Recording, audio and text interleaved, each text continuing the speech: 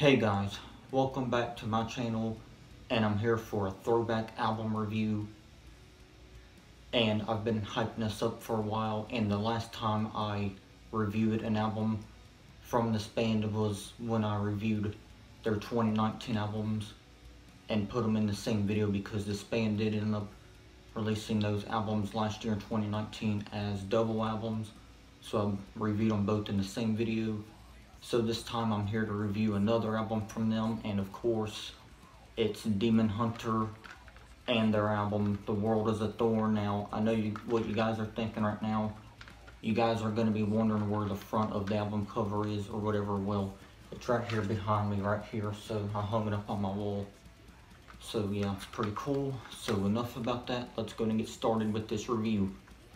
Okay, so the album ups open Okay, so this album opens up with a song called Descending Upon Us, and I think this is a pretty solid album opener. Is it one of their best album openers?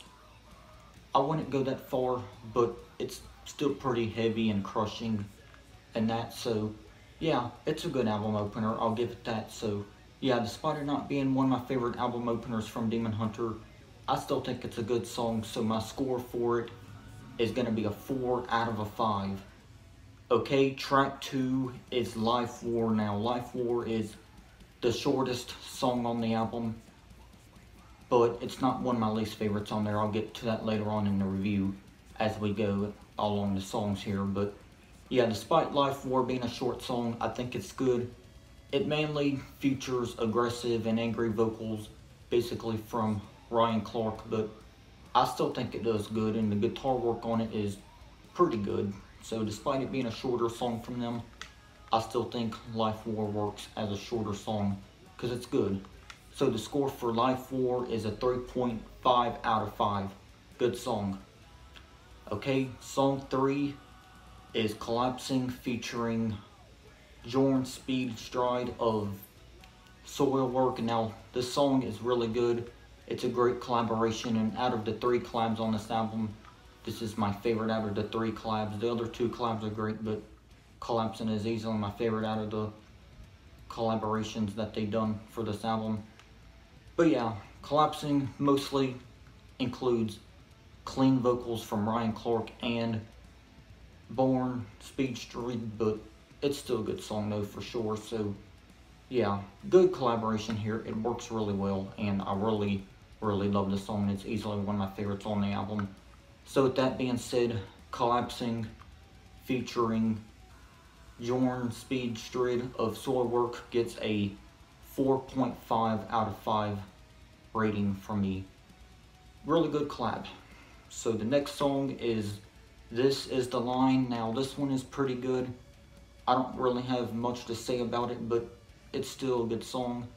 So the score for that song, This Is The Line, is going to be a 4 out of 5. If you guys see me grabbing something throughout the video, that's because I wrote down all of the songs on a sheet of paper and I gave them a rating, so yeah, just so you guys know that. But yeah, this is the line note, it's still a great song. So like I said, the song gets a 4 out of 5. It's still a good song and pretty underrated from Demon Hunter. Good song though for sure. Alright, track 5 is Driving Nails. Now, this is more in the ballad territory for Demon Hunter because once again, it mainly only includes Ryan Clark singing in it, but it's a still a really good song. I really like it. I really like the chorus where he says, driving nails into my soul, or however the lyrics are, but yeah, I really like that chorus. It's easy sing-along song, so yeah, great song though for sure. So Driving Nails gets a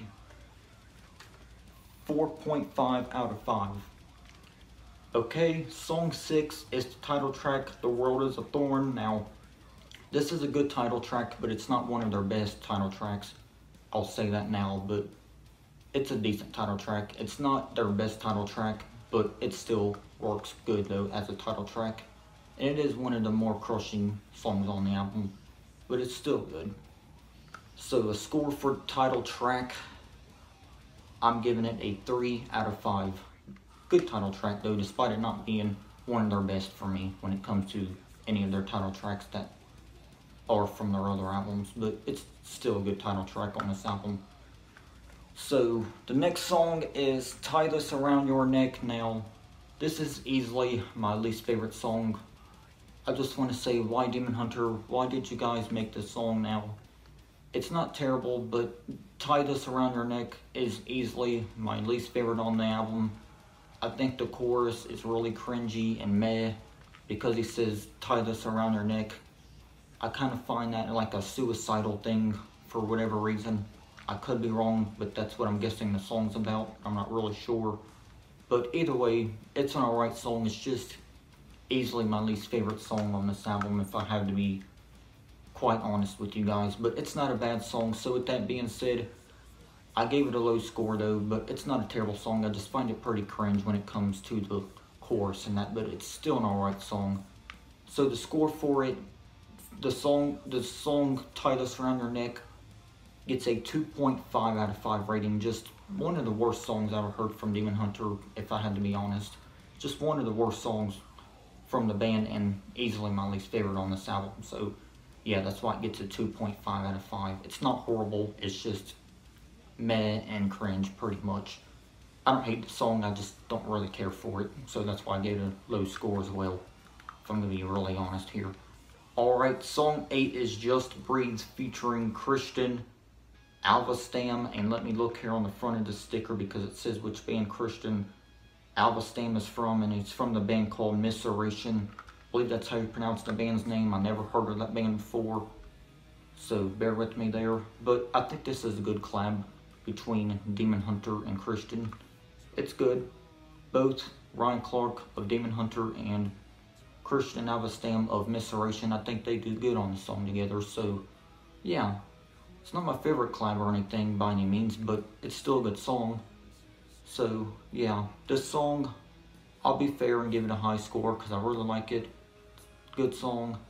So, I'm to give it a 4 out of 5. Great song. Alrighty. Song 9 is Shallow Water. Now, this is a pretty underrated song again. I really like Shallow Water. It's good and underrated. I wish more fans of this band would at least give the song a chance, even if this is one of your least favorite albums from the band. Still give Shallow Water a chance because it's a good song and it really works really well for the album. It's more towards the end of the album because this album only has 11 songs, but yeah, Shallow Water though still is a good song. So with that being said, I'm going to give Shallow Water a 3.5 out of 5. I know that's kind of a low ranking, I mean a low score for the song, but there's better songs on the album, but it's still a good song though. And I really like it though. So 3.5 out of 5 for Shallow Water. Alrighty, track 10, Feel As Though You Could featuring Dave Peters of Throwdown. Now, I've heard of Throwdown. They're a good hardcore or metalcore band. They're really good.